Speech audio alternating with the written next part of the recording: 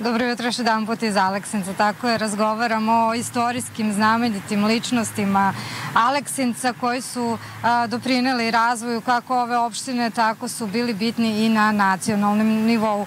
Ono što je zanimljivo da je, a, su trojica a, velikana rođeni u istoj ulici ovde u Aleksincu. Nešto više o tome reći će nam istoričar, naš sagovornik Zoran Stevanović. Dobro jutro, Zoran. Evo, ja sam napomenula da se radi o trojici velikana.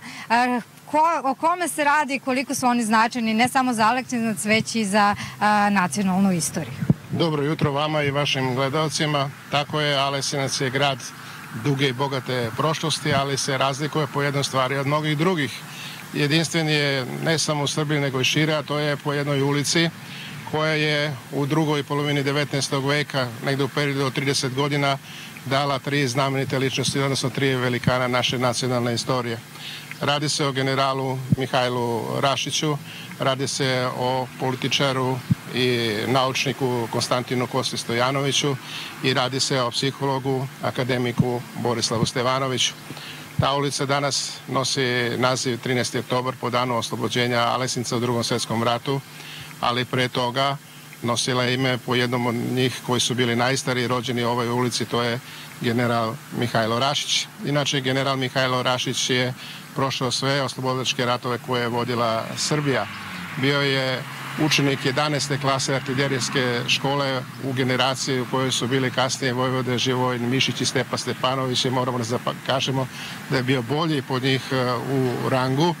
Prošao je, dakle, oslobodačke ratove 76. 78. sa Bugarskom 85. Prvi i drugi Balkanski rat i prvi svetski rat.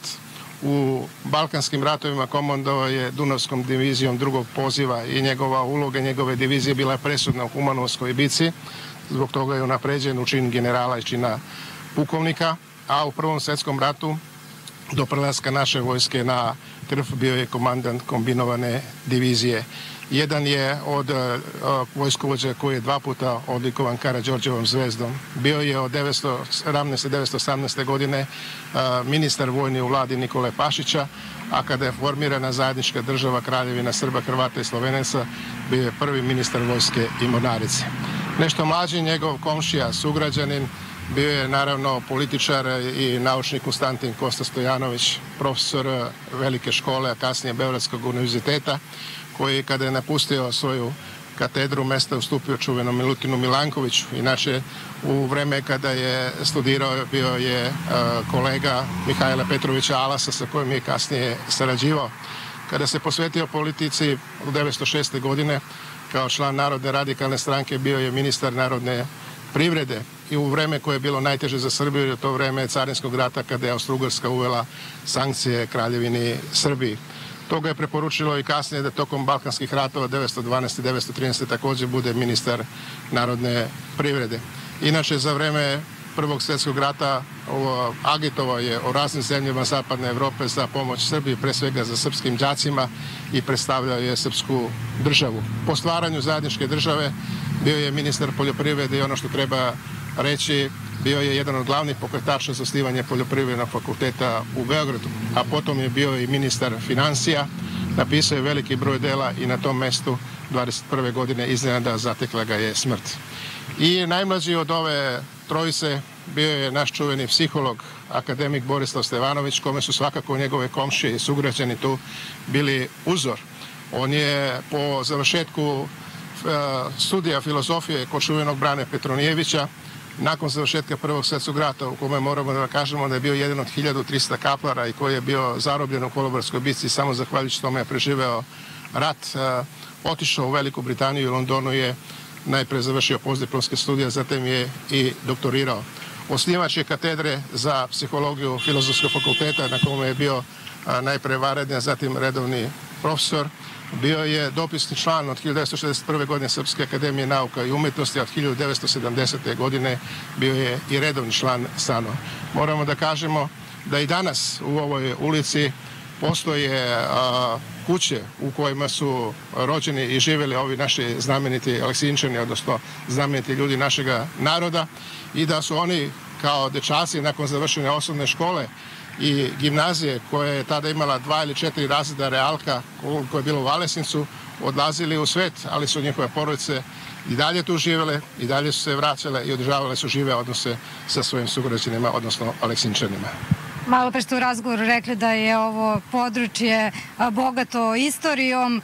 Šta će to u narednom periodu biti obeležavano ovde od bitnih događaja za srpsku istoriju? Tako je, ovaj grad nalazi se na jednom značajnoj komunikaciji iz prošlosti, to je Carigradski drum, prvi put se spomenju u 16. veku, znači ima bogatu, više od pet vekova istoriju i ovde su se dešavale izuzetno značajni događaj iz vremena prvog srpskog ustanka, iz vremena prvog srpskog turskog rata.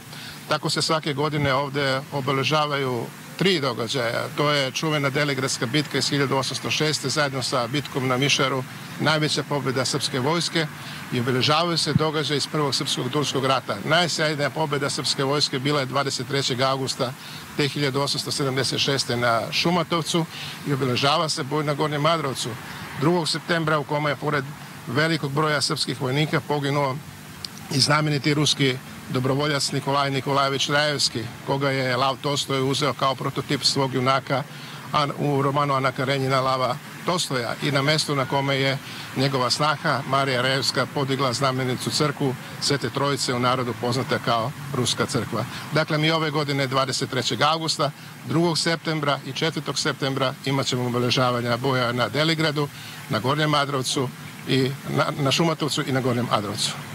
Hvala puno na ovom razgovoru za jutarnji program Happy televizije.